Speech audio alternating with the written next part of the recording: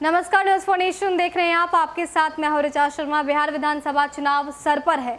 ऐसे में सभी पार्टियाँ पूरी कोशिश कर रही है कि कोई भी मुद्दा को उठाया जाए, उसको भुनाने की कोशिश की जाए, ताकि जनता तक पैठ बनाई जाए।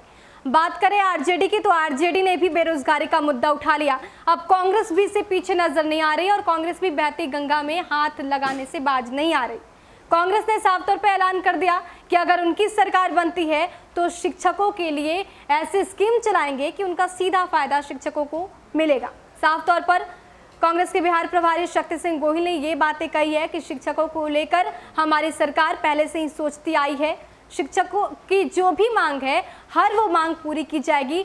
सम्मान के साथ हम शिक्षकों के मुद्दे पर खड़े रहे हैं और हमेशा से खड़े रहेंगे। उनको लेकर क्या कुछ प्लान किया जा सकता है? उनको कैसे रोज़गार दिया जा सकता है? उनकी सभी मांगों को कैसे लागू किया जा सकता है?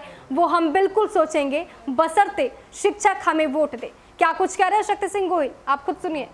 आज हमने हमारे पूर्व राष्ट्रपति प्रणब मुखर्जी जी, जिन्होंने इस देश के यूनियन मिनिस्टर के तौर पे, इस देश के राष्ट्रपति जी के तौर पे और ख़ास करके हमारे कांग्रेस पार्टी के पथदर्शक के तौर पे।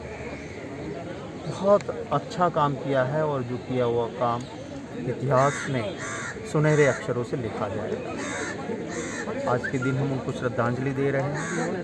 साथ साथ आज शिक्षक दिन, सर्वपल्लवी राधाकृष्ण जी की याद में भी हम मनाते हैं। दोनों महानुभाव को बिहार कांग्रेस परिवार की ओर से श्रद्धा सुमन हम समर्पित करते हैं। शिक्षक दिन का बड़ा महत्व रखते हुए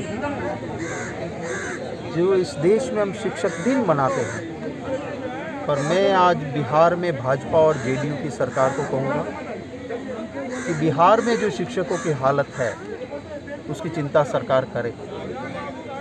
कहा जाता है शिक्षक।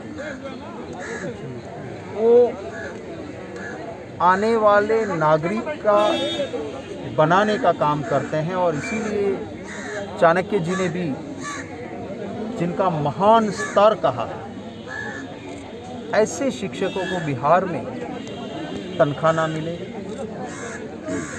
इक्वल वर्क, इक्वल पे, समान काम, समान वेतन संविधान का सिद्धांत होते हुए भी उसका पालन ना हो। शिक्षक आत्महत्या पे मजबूर हो और कहीं प्रोफेसर्स पे लाठियाँ चले, उनको झेल भेजे। ये जो कुशासन चल रहा है, हम एक पॉजिटिव रोड मैप के साथ अगले चुनाव में जा रहे हैं। हमारी ये प्राथमिकता होगी कि बिहार के जो ऐसे इश्यूज़ है, उसको हम पहले एड्रेस करेंगे और बिहार की अपनी एक गौरवपूर्ण बात थी बिहार का पूरे देश में दुनिया में एक वजूद था।